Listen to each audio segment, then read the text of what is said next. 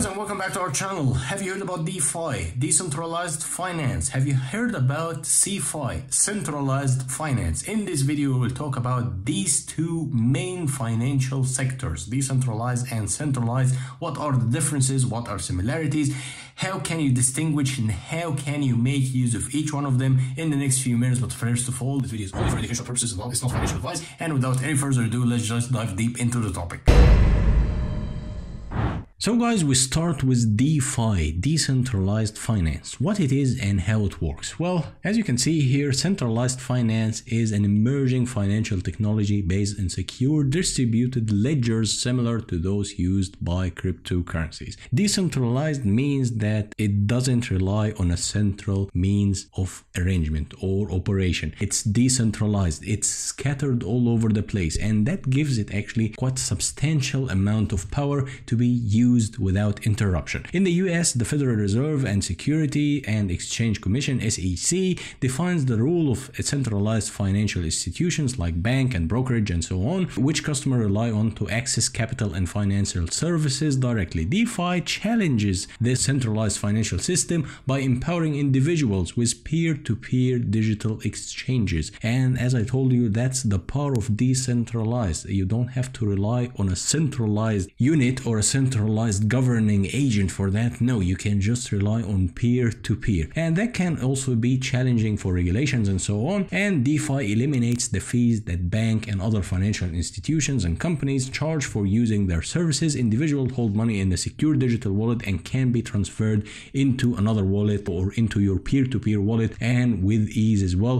As long as you have internet connection, you can just start using it no matter where you are, no matter how far you are from each other, you can just start using using it with relative ease and it eliminates the fees and that's one of the most important aspects for uh, for using decentralized finances but what's a CeFi centralized finance. Well, a CeFi here on the other hand, that can be described as one of the fundamental concepts of cryptography. DeFi, of course, that's a decentralized finance, but the CeFi is a framework that seeks to provide cryptocurrency investment options that combines some advantages of the DeFi as well and the usability and security of conventional financial institution. So we can summarize that CeFi, centralized finances, is a process where you users can acquire loans and earn interest and buy and sell cryptocurrency or exchange cryptocurrency using a centralized in institution. So you're using cryptocurrency, which is decentralized, but using a centralized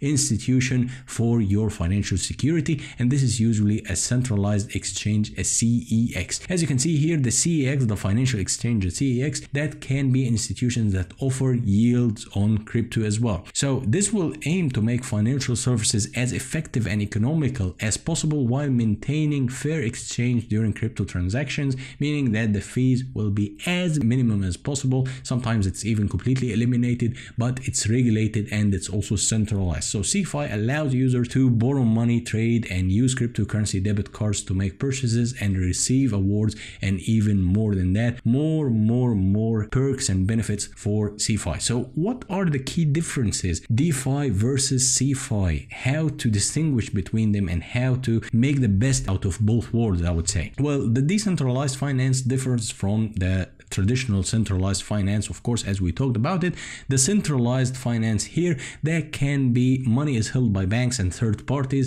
and these facilitate the movement of money and they charge you uh, they charge you uh, percentage of fees of course and the credit card starts charging you once you start using it and kind of paying to the merchant. So they can sometimes take chunks of your amount of money or the amount due but with a decentralized finance the financial that's eliminates completely the intermediacies between merchants and users. So that can be quite beneficial and that can also be in the benefit of the customer and in the benefits of merchant. But actually the best of two worlds or kind of regulated by the two concepts. There is always a solution for these two concepts to coexist. And as i told you here kyc know your customer that's also a procedure that can be used by major exchanges binance or whatever. You can find that the KYC is a procedure is often required before you can start using trading platform or an exchange platform to know your location, to know your if you're doing anything unlawful,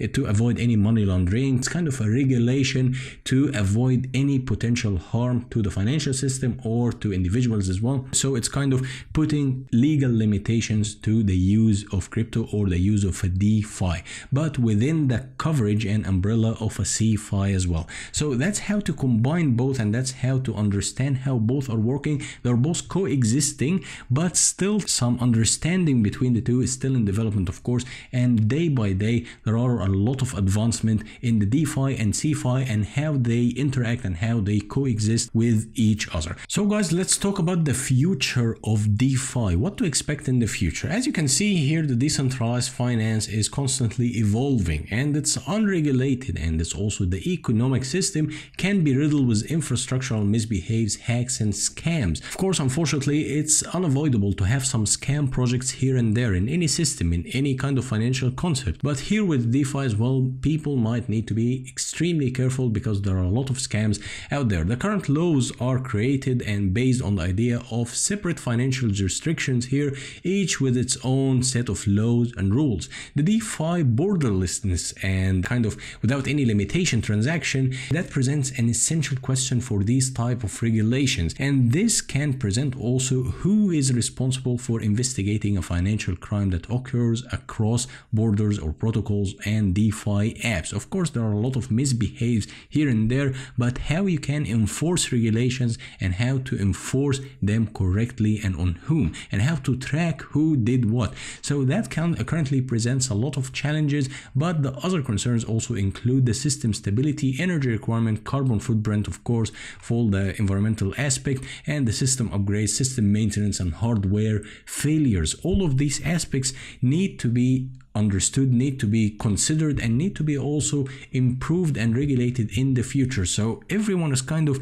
hand in hand trying to bring the best out of the defi and also try to limit or kind of try to get the misbehaves to a minimum and put certain regulations to avoid any hiccups or any misbehaviors using such a technology such a brilliant technology as defi so guys, in a nutshell, we talked about DeFi and CeFi, decentralized finance and centralized finance. We kind of gave an overview of what to expect and how to understand each of them. So I would highly recommend you to check the links down below, understand it a bit more, invest some more time into grasping the whole idea, and you will find yourself more and more interested because the financial revolution is coming either way. So it's better for you to be prepared with information. So as usual, if you like this video, hit the thumbs up, hit the subscribe button, leave any comment you might have in the comment section down below, and till next time, bye-bye.